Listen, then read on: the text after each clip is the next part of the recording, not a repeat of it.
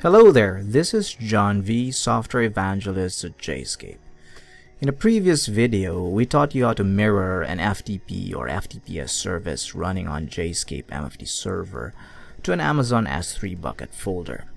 You can set up a similar process using any remote FTP or FTPS service even if that service isn't running on a Jscape MFT server instance. We'll show you how to do that in this video. Note that what we'll be setting up in this tutorial is a synchronization. Unlike mirroring, which is what we took up last time, synchronization is a two-way process wherein new and modified files from both directories are copied onto both paths. Mirroring is normally just one way.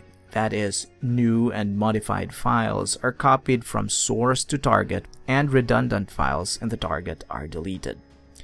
Also, just to be clear, the FTP server we want to synchronize with S3 this time is on a separate machine. It's no longer running on the same machine as Jscape MFT server.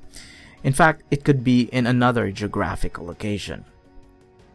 All we need to do to synchronize that remote FTP server with Amazon S3 is to create a trading partner for it and then set up synchronization using a trigger with a trading partner synchronization action. We'll also need a trading partner for Amazon S3, but we already set one up last time, so let's just use that. Ready to proceed?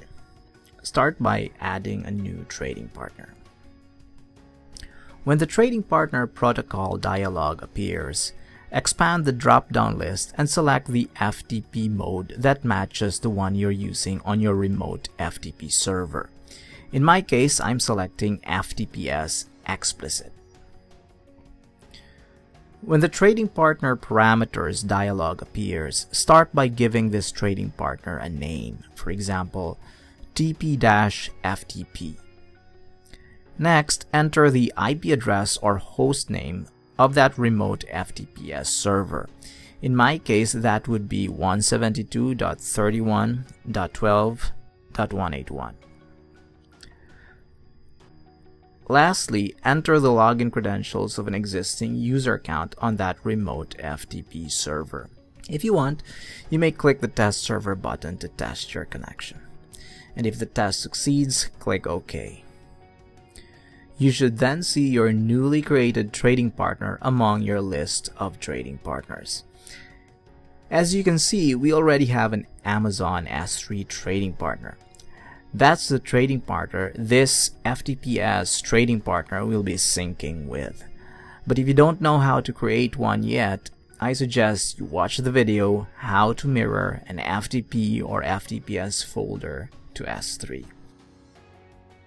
The last step is to create the trigger that would automatically synchronize that FTP trading partner with the Amazon S3 trading partner. And to do that, just go to the Triggers module and click the Add button. For those who are using Jscape MFT Server version 12.1 and higher, you'll be presented with a trigger template dialog where you can choose a template that best describes the workflow you're about to automate. Let's just leave that blank for now and click OK. Give this trigger a name, for example, sync remote FTP with S3. After that, specify an event that would initiate this mirroring process. We just want this trigger to execute at a particular schedule, so let's choose the current time event type. In the next screen, you can use the expression builder to build an expression that would define the schedule when this particular trigger should fire. I want this trigger to execute at 12.45 p.m. every day, so I built the expression as shown on the screen. When you get to the next screen, click the Add button to add a new trigger action. This is the part of the trigger creation process where you would specify how the synchronization should be carried out.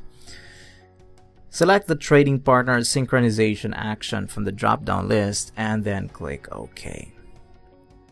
Let me now walk you through the key settings for this trading partner synchronization action. The first ones you'll encounter are partner A and partner B. In the previous post, we defined partner A as the source.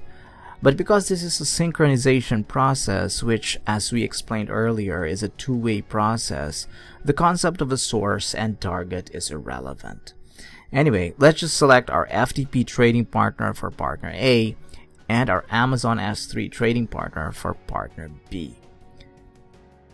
Next up are path A and path B.